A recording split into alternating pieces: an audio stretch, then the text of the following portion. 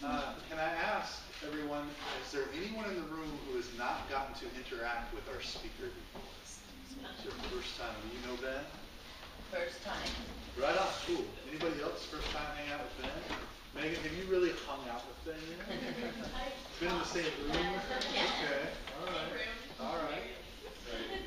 So then most of you know what I'm talking about. I've got some context with which to work here.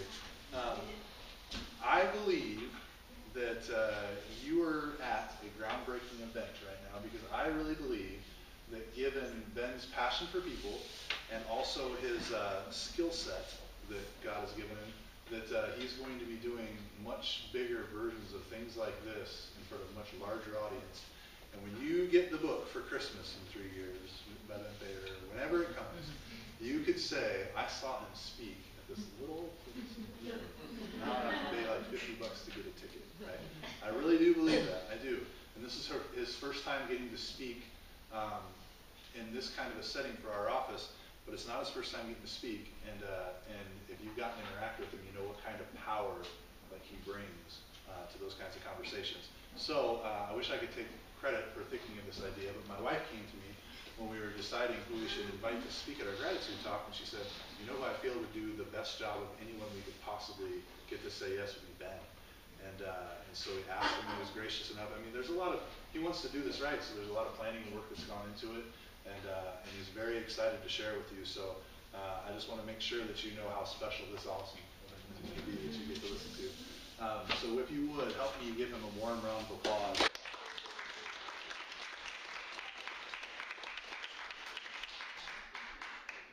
Awesome. Already tested out. Already tested out through the whole show. All right. The other thing about that story, before we get started here, the uh, choosing who to speak story. I was looking for a speaking gig in November-ish. and I hadn't talked I hadn't talked about it. I was just like, you know, all right. Wrote it on my little journal. Like, all right, November speaking gig, and what I want to speak on. And we were sitting at that table back there for a marketing meeting. And Aaron and Aaron were going back and forth like, you got the gratitude talk covered? Yeah, I got it. Sweet. Awesome. And I was thinking in my head, I want to do that. I want to do that one. I didn't say anything week, maybe, about a week later. So, hey, Ben, we were thinking about the gratitude talk. yes, I'd love to. Oh, awesome, awesome. So, thank you guys so much for being here. Thank you for the opportunity. Really appreciate it. Really excited about this. And uh, glad to share with you guys something that I'm passionate about from firsthand experience. Uh, called tonight's talk The Transforming Power of Gratitude. Most of us know that gratitude is something we should do, right?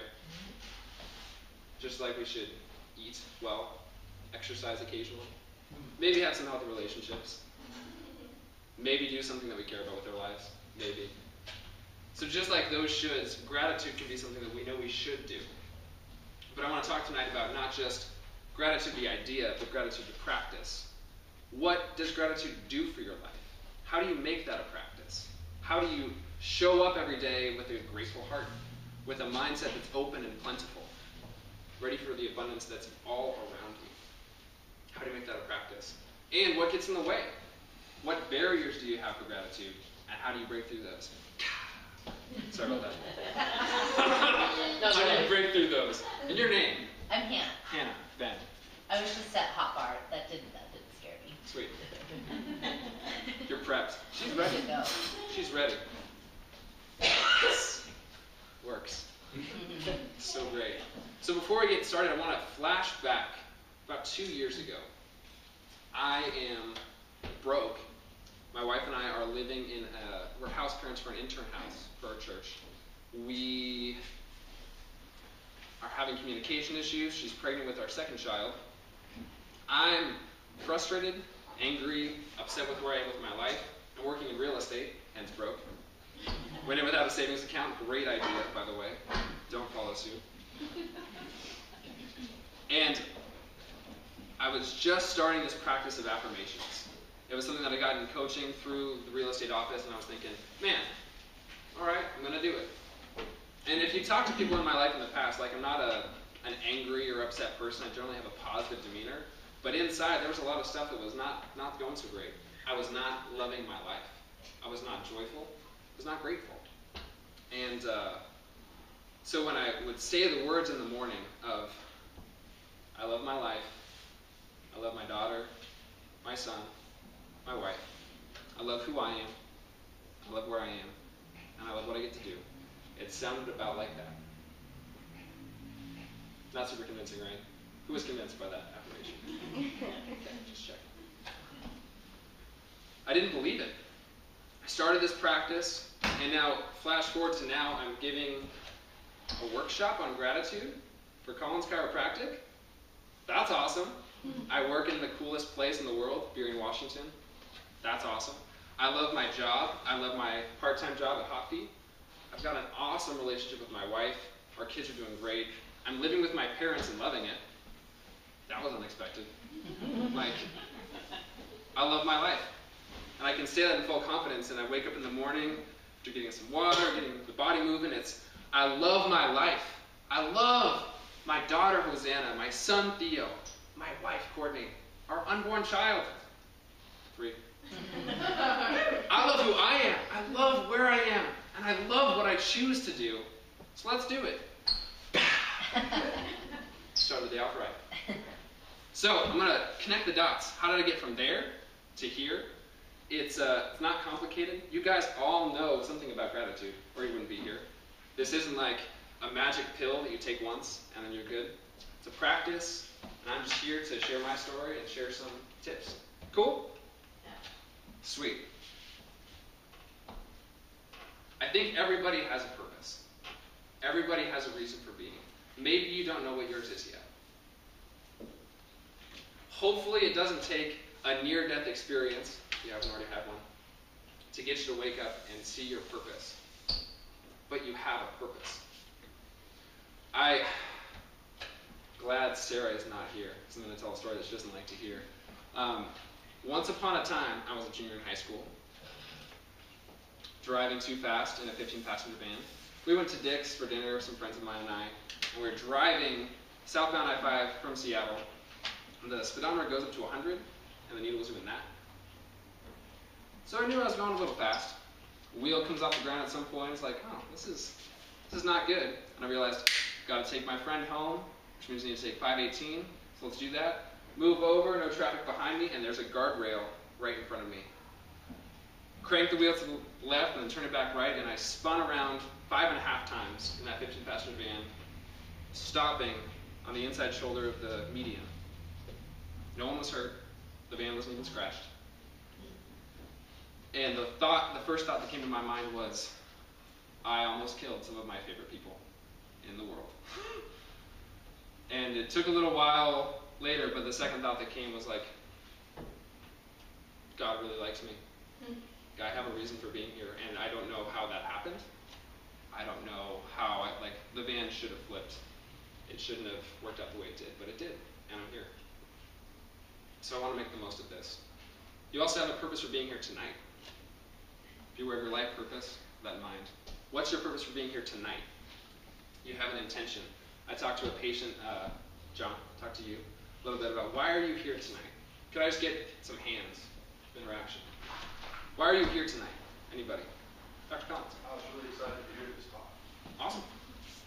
I want to kickstart my gratitude. Boom. Kickstart your gratitude. Anybody else? I like reading what you post. Thanks. Aaron? I need a solid gratitude practice that I engage in every day. I think you're gonna help with that. Awesome. I think you came to the right place. I think so. Sam, did you bring it? Anytime I come see you, Ben. Thank you. Bonnie? Um, coming here gives me inspiration that I don't get other places, and I want, when I heard you were talking, I came to hear you. I'm glad you're here. Because I like what you represent. Thank you. Thanks for being here. Cool. So think about your intention going forward, whether you said it or not. What I'm going to say, just map it onto your own life, okay? You'll see things that I haven't said, and the things I've said will translate into new ways for you. Got it? Awesome. With that, let's move forward with our barriers to gratitude. Ooh. Let's do the tough thing first. So we talked about should. this idea that uh, if I just know what's healthy for me, I'll be healthy. But we're not. Just knowing I should exercise doesn't mean I'm fit. Just knowing I should eat well doesn't mean I'm healthy. We talked about that. VEER is the acronym I want you to think of. What steers you away from gratitude? What sucks your joy? List them, and then we'll go through them one by one, okay? Victim mentality, excuses, envy, entitlement, and resistance. Victim mentality, excuses, envy, entitlement, resistance. I like to think of victim mentality as a downward spiral. When you are blaming others for where you are in your life, when all your circumstances around you are the problem, and if only things would change, but I have no power to change it, when you're putting your power on someone else or waiting for something else to complete you, you have a victim mentality. Two years ago, I had a victim mentality. Pretty plain and simple. The choices that I made, like getting into real estate, moving into that intern house situation, which all around was awesome, but I was frustrated with it. All the choices that I made were choices that I made. And so to blame anyone else, my wife, our church, my company for the life that I had, like it's my life and I was making those choices. But I couldn't see that at the time. It sucks you down, it sucks your joy, you're unable to see forward when you're in that state of mind. Oh, then we've got our excuses. These are great. If only I had more time. Only I had, if I won the lottery, you know what? If I won the lottery, I just think I would do that trip to Africa that I've always wanted wanted to do. My health, my energy, oh man. You know, it's hard to feel happy when you feel crappy. It is. But the reverse is also true, and we'll touch more on that in a second. So these are our excuses primarily around time, energy, and money. These are the resources that we all possess at some level. I don't have enough. When I get enough, I will feel happy. Those kind of things. Making sense? Okay. Envy and entitlement. Entitlement. Envy. Anybody? Yeah, we get it. The picture is pretty provocative. Like we all know this face, right? You can see it from a two-year-old to a 65-year-old or beyond. Like you know that face. I want what he has. I am unhappy with what I have. I want what he has. If only I could have what he has. And you know what? If I had what he has, I would do a dang better job of using it. Dr. Collins, if I had a sweet truck like that, man, every weekend I'd be at the pass, you know. It's the life, man. You get the idea. That's the title. No, just mean like moving people on the weekend. Touche. Touche. These will, if you can't see your own life as blessed, if you can't see abundance around you, you're going to constantly be looking for it in other places. The grass will always be greener on the other side. No room for gratitude. And consequently, your physiology will suffer the consequences. Then there's resistance. Just look at that picture for a second.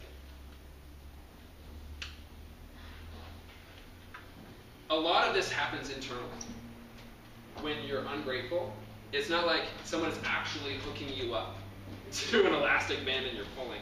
It's all here. Right? Two years ago, the life I was living, I was having cognitive dissonance between what I dreamt, what I thought was possible for me, what mattered to me, the values I had, and what I was actually doing. And that dissonance creates resistance. And the more you resist what already is around you, your life as it is is what it is. Hate to break it to you. The more you resist that, the more energy you're draining, the farther down that spiral you go. And it uh, just wears the heck out of you. When you see a joyful person, what are some words that come to mind around joy? Ease, Ease, contentment, contentment. Anybody else? And last. Relaxed. I think Sunshiny. sun shining. I like it. Open. Open. Fulfilled. Fulfilled. I think of lightness, like effervescent. Like uh, you shook a soda pop, stuck that on the table, and popped that open. Bubbly, right? Where is there room with this? All that energy that could fizzle into something really beautiful is spent fighting a war with yourself inside about the life that you don't want. Sucks the gratitude right out. Come on in. So the basic idea underpinning this is be, do, have.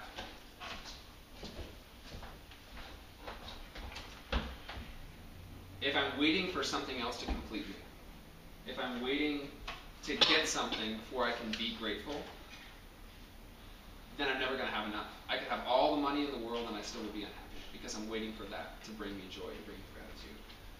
I could do all the right things. I could jump through all the hoops, I could go through the motions. But if I am not first choosing to be grateful, I, I can't give away what I don't have. Be, do, have. So it starts at the be level, being grateful. But how do you do that? Let's talk a little bit about some of our values and some of the components of our lives. Break that down before we talk about gratitude per se. Those excuses we mentioned time, energy, money those are all reflections of our values, the way we spend our time, the way we spend our energy, the way we spend our money. Tell us what is really important to you. Maybe the dissonance, the resistance you're feeling is that what you're actually spending your time and money on aren't what are important to you. The way you're investing for your health isn't actually what's important to you. The relationships you have, are those really what are important to you? And if not, why are you investing? Why are you making the choice to do that? Time, money. If the thing that I'm buying isn't the thing I care about, then why am I buying it? You get the idea. Wealth is a great magnifier. Your problems get bigger like your weaknesses are more evident to everyone else and yourself if you have more money, it doesn't actually change anything. I don't remember the title of the movie, but uh, I watched some clips on YouTube of this movie that was documenting lottery winners. Lucky. Lucky, thank you. Their lives go, go to shambles. They receive all this money that they don't know what to do with because they haven't been cultivating a heart that's ready for it. And so their problems that are, however big they are, are only bigger when you bring more money into the equation. And it's also, we, we place a strong cultural emphasis on money as value, but there are lots of other kinds of value. My, uh, my family gets adjusted for free, covered through the office, which is awesome, and we make use of that care because it's valuable to us. We want to see our kids thrive, so it's like, get them in here as often as possible. There are other things that we value that we, we spend ourselves on that aren't money. So just think about that. Ooh, can you get that any bigger? Let's make that bigger. Has anyone heard this quote? I'll read it. The Dalai Lama, when asked what surprised him most about humanity, answered, Man, because he sacrifices his health in order to make money. Then he sacrifices money to recuperate his health. And then he is so anxious about the future that he does not enjoy the present. The result being that he does not live in the present or the future. He lives as if he never was never going to die, and then he dies having never really lived. Gratitude is underneath all these aspects of our life. And if we're not, what we're choosing is incongruous with what we actually care about, that's just going to show up as this silly, like this quote sums it up so perfectly. It's, it seems silly. We all do it. But that's not what our life is about. What do you choose to do with your time? take an audit. There's some homework if you want it. Take an audit of how you spend your time during the week. And then ask yourself, is that what I care about? Am I investing in this project three hours a day because it's what I feel I have to do to appease this person? When I'm complaining to my spouse about this at work, what could I do differently? What could I be spending my time on? And then relationships. We are attracting to a degree what we're putting out there, right? So what I am eating is also what I am opening myself up to. And do I like what I see around me? Am I getting my priorities straight? My relationship with God, with my family, how that plays into my business, how that plays into the things I do with my spare time. And how am I using that time? Does my free time get lost on Facebook? No. No. I like it. Does the thing I say that I want to do every weekend, I want to go on a hike this weekend, I want to go on a hike this weekend, do I keep pushing that out? And why do I do that? Just looking at yourself, these are some questions to take forward as we go. And career. How to get paid to live out your purpose is not how a lot of people view career. What would it look like for you to, with either the job you already have or with something else, to see that as your vocation, your work, living out your purpose in the world? What would that take? What would that look like? This tree is like you. To thrive and blossom, it needs some water. Guess what that water is? Gratitude. It's underneath everything. Gratitude unlocks the fullness of life. It turns what we have into enough and more. It can turn a meal into a feast, a house into a home, a stranger into a friend. There are a whole host of benefits of gratitude. We've covered the barriers, so now we get to move on to some of the perks of what gratitude does for you. But it starts with just being present to what is already in front of you and around you. I've combed through about 30 studies now, academic studies, just on the subject of gratitude and how it affects you, physiologically, psychologically, etc. This is trying to composite some of the information in a picture. If you search on Google, you'll find something like this. But there's a lot of research out there talking about the positive effects of gratitude. I'll just name a couple increased self esteem, less self centered, happier memories, and more resilient, kinder, deeper relationships. I read an article that was talking about how because people like you more when you're grateful, other things uh, start happening in your life. Improve sleep, less sick, increase energy. Would you like more energy? I get people commenting all the time about my energy. Why do you think that is? Better management, goal achievement, and career. More fit people are more grateful people, generally speaking. Those are some of the benefits, and they're all, almost all external, right? Like we could see if someone's happier, we could see if someone's biceps are bigger. But how do you cultivate it? Do you cultivate that?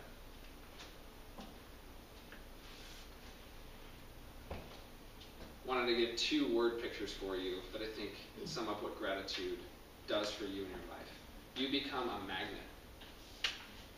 I like the analogy of the open hand. So, closed fist would be a scarcity mindset, would be a victim mentality of, I don't have enough.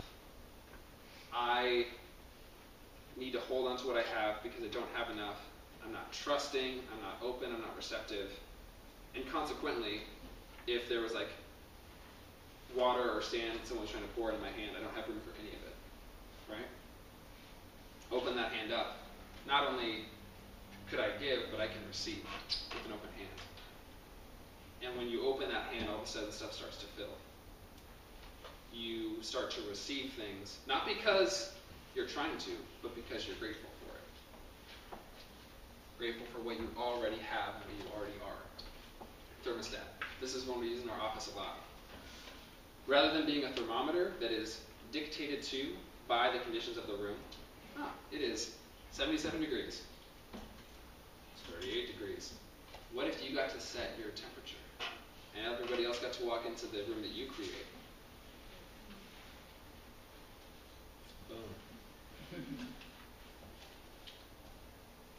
This is the good stuff. We know a little bit about what holds us back from gratitude. We know a little bit about what gratitude does in our lives. And there's more, and we can talk about it afterwards. But how do you make gratitude a practice? Disclaimer this is extremely personal. What I don't hope to do is to give you a cookie cutter outline that you just follow. Like one, two, three. Yay. Not what I'm going for. So listen for what sticks out to you. Like if there are certain things that I'm throwing out there, certain ideas that stick, then go for it. And we'll touch on how to implement as we go, okay? But I'm not, uh, you can think outside of what I'm saying, and what I do myself might not work for you. Make sense? This one is, oh, key. I got asked one time, we were working uh, at Wellness Fair for Collins and Awesome Kids Day, and the ladies at the booth next to us were like, "What? What are you on? like, is there a is there a pill? is there a, is there a doctor I can go to? You know, like, taking anything?" And I got to tell her, "Well, you know what? I wake up in the morning and I drink a big cup of joy." First thing. Then I drink a tall glass of water. Then I run or work out. Then I pray, meditate. And then I prepare myself for my day, what I want to do. And she was just kind of like, huh. Didn't say much after that, at least not in that conversation. But that's my routine. Came up with a little acronym to help you out. MOCHA. Favorite drink? Teacher reference. Uh, meditation, orientation, creation, hydration, ambulation. Now, the key with this routine is that gratitude, you'll notice that gratitude isn't like one of these steps. Like I wake up and I say, okay, this is the gratitude moment. Or do my gratitude. It's got to be in each part of that. So what are you meditating on? What you're focusing on expands. When you're emptying yourself, are you making time to fill yourself up with some gratitude? That's a part of my practice. And you heard my affirmation. That falls into that category. Okay? But doing something daily, just like I wouldn't expect to gain a lot of muscle mass or to lose weight if I went to the gym once a month, twice a year, just during the month of January. I it's hard to be transformed by a practice that you're not doing. And so make it make it daily. It doesn't have to be this complicated. Mm-hmm. Th- this is for me because I feel like if I don't run, then I'm not really going to sit still to pray. If I don't get some energy out, I'm not going to be able to write anything. So this is this is what I developed for me. But do something that works for you. And because it's your rhythm, your ritual, make a plan and commit to it. If you're not going to commit to a plan, a set period of time even, uh, then you're wasting your time with your practice.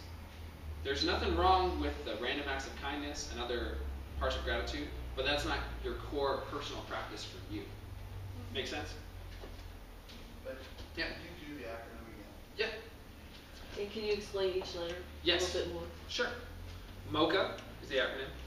M, meditation. So, meditation is where there's a couple different, there's a whole books on meditation. I usually do some kind of body prayer, like movement, stretching, breathing oriented, and then there will be like words, my affirmations, my prayers for the day, just what's on my heart at that moment. Kind of processing after I've had a chance to center. Orientation, O.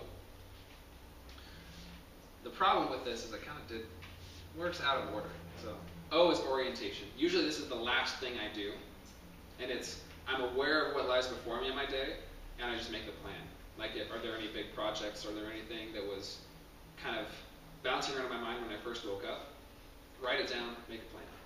And not just what are the things that I have to do, but how am I going to be today? I uh, write in this journal just about every morning, and one of the things I do is I write, what am I grateful for today? What do I get to do today? How do I get to be? And just looking at a B level of how I want to show up in my day. I know the things I have to do. I know the stuff that lies before me. How am I going to be and show up in those things? And sometimes,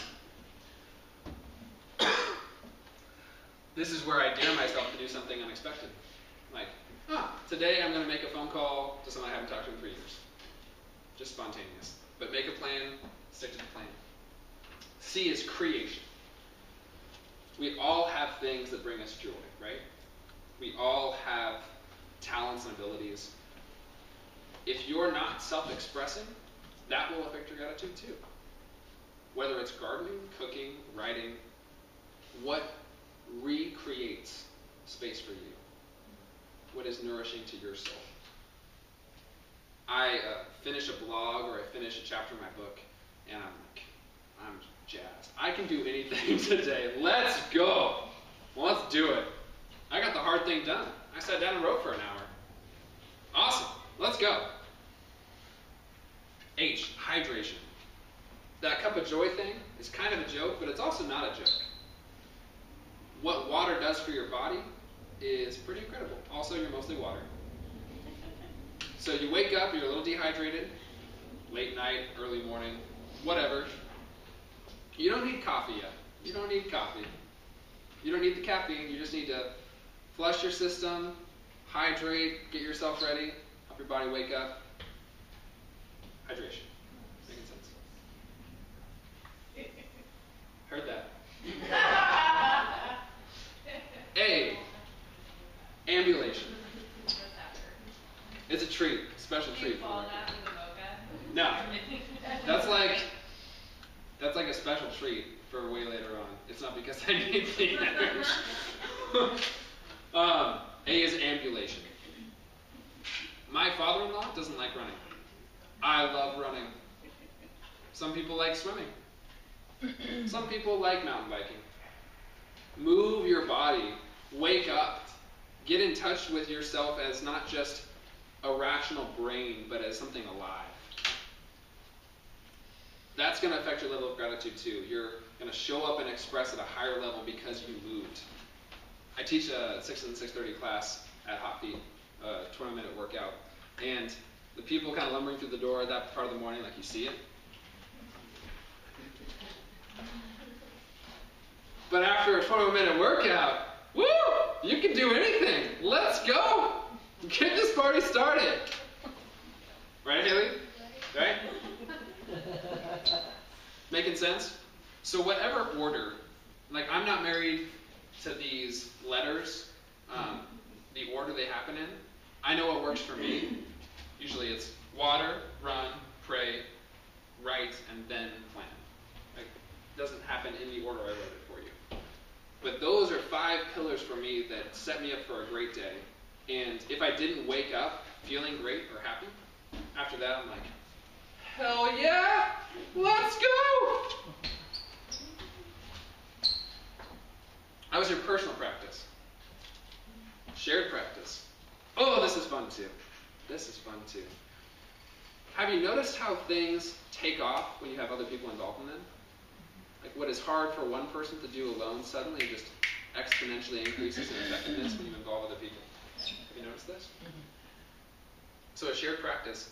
I feel super grateful every week. We have a couple of practices that I'll touch on. Uh, one of our practices for staff meeting at Collins Chiropractic is we start a meeting off with what are you grateful for? And we go in a circle.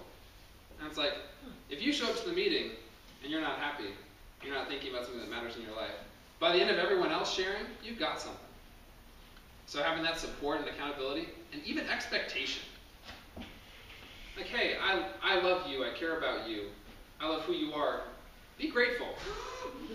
You matter. So don't. It's not that there's no place for being sad. It's not that there's no place for challenge or pain. That, that stuff exists. It's just a matter of what are you focusing on and how are you encouraging people around you? How are they encouraging you? So a shared practice. Um, a couple ideas on this. A gratitude jar for your family. That's awesome. Three by five note cards and a big bowl or a vase or something. And just, even if it's once a day, like just jot down some of the things that you were thankful for, your family was thankful for, and just throw one card in. Go in at the end of the year. Wow, May 25th, Hosanna was thankful that dad could stand on his head and make funny noises. Great. That's awesome. Hosanna's my daughter, three year old daughter, by the way. It doesn't really matter what, um, but make it a shared practice. I think also we talk about thank yous as this kind of cultural contrived expectation. You just get married. People give you a bunch of stuff. Thank you list. Dear Aunt Sally, thank you for the $20 Amazon gift card. Yours sincerely, Ben. That's great. Do thank you cards if that's what speak to you. And do them because you want to, not just because you got married or because you had a birthday. That's great. Um, words of affirmation. We do this a lot as a team too. We do this as a family. Um, at night when I put my kids to bed, we say we say prayers, and if there's anything I'm thankful for with my family, is that my kids all know how to say thank you. It doesn't really matter, who it's to. Like it could be to me, it could be to God, but they they have this list of things that they say thank you for. It's like the one thing I've taught my kids how to do before bed is say thank you. So like, thank you God for daddy, thank you for preschool. Just making that a part of your practice. I'm I don't know if you're a believing person or not, and it doesn't really matter. Just make gratitude a part of your practice. Share with the people that you love, matter in your life. For some people, too, um, the challenge of a shared practice is well, what if I don't live with anyone?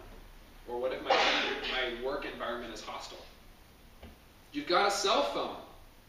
You've got a cell phone. You've got to have one person in your life who cares about you, who gets you.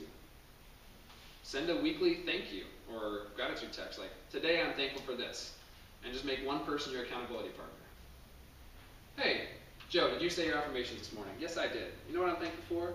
I'm thankful for these new shoes I got. Great. Awesome. Again, just putting out ideas. I feel like you guys will have lots of other stuff, but I didn't mention. Just listen for it and look into it.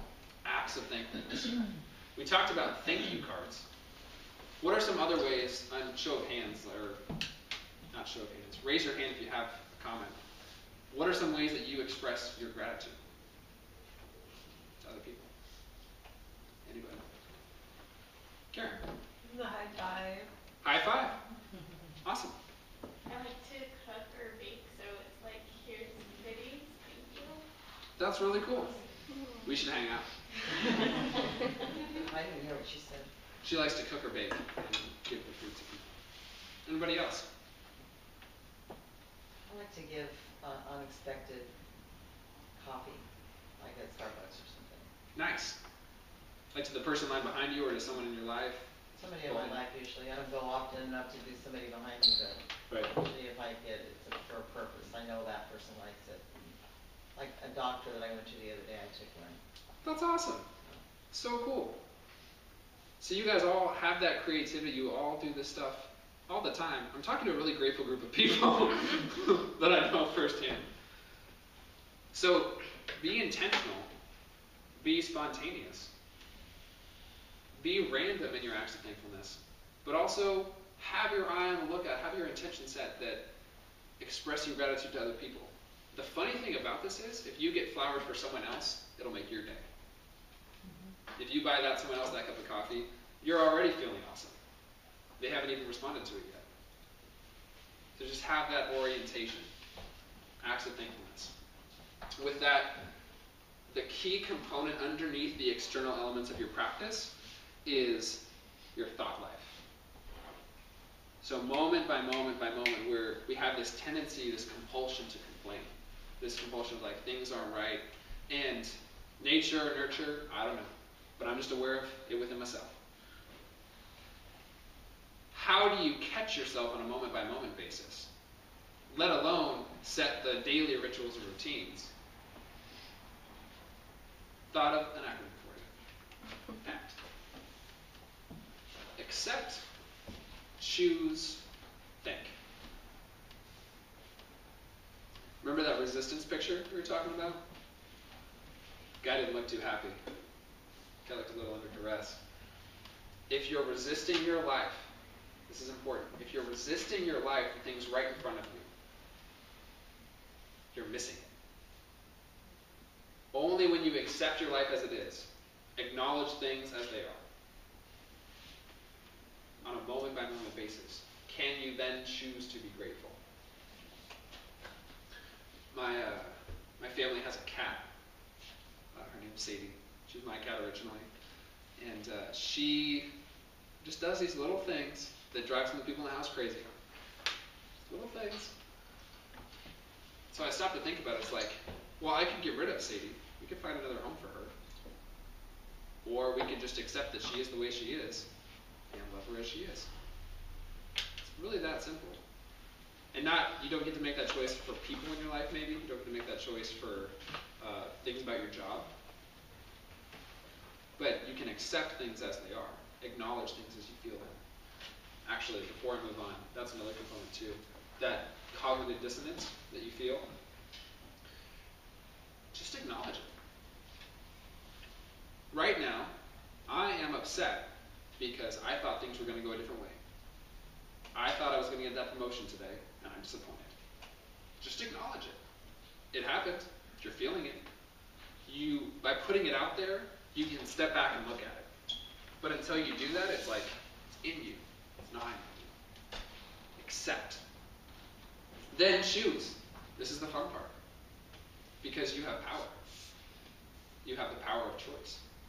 You're a human being. Not only do things happen to you, but you can choose how to respond to them.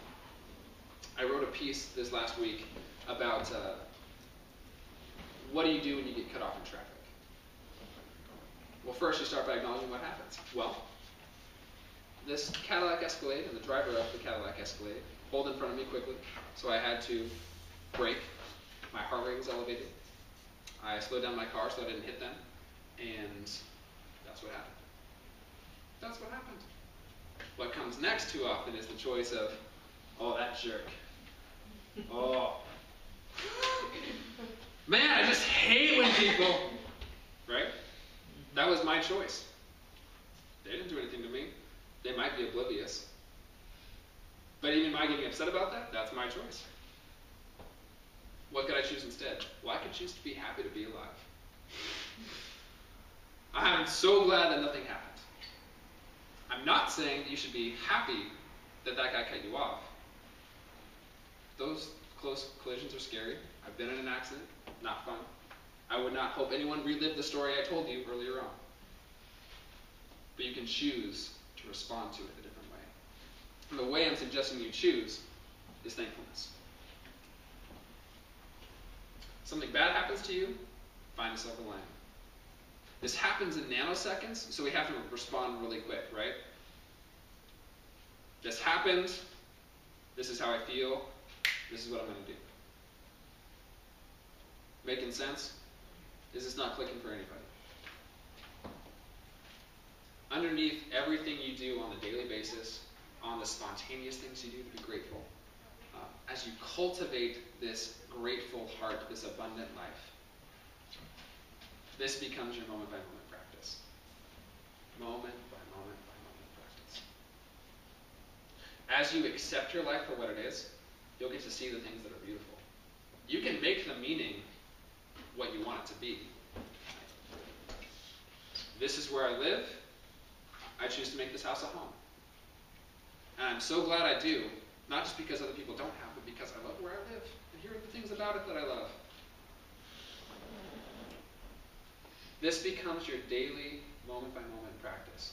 This is the practice of gratitude accepting, choosing, and thinking. And again, it all comes back to be, do, have. That's at your B level. You're creating new neural pathways that are flowing with gratitude all the time. As you, moment by moment, day in, day out, by yourself and with other people, create space for appreciating what is beautiful about your life. As you take the people in your life and say, you know what? Maybe that thing used to irritate me, but I'm going to choose to love and accept them for who they are.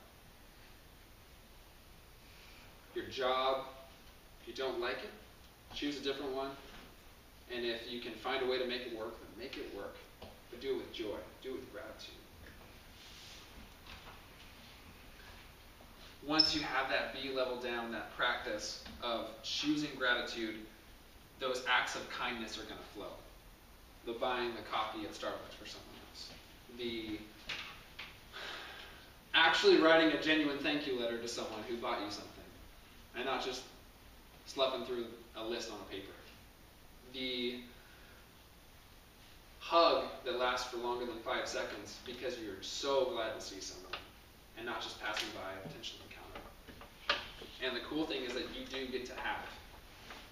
With that open hand, that open heart, you're going to draw things to you. The things you dream about are just going to start to show up. Like this talk for me. Just going to show up, not because I did anything to make it happen, but because I was just open and thankful and appreciative. You're going to be healthy and happy in who you want to be, not because you're only doing those things, but because you have a grateful heart. So that is the transforming power of gratitude. That's what I want to share with you guys tonight. Thank you again so much for being here. And I invite you to not just make gratitude an idea, but to make it a practice that's something that you embrace for you. Thank you.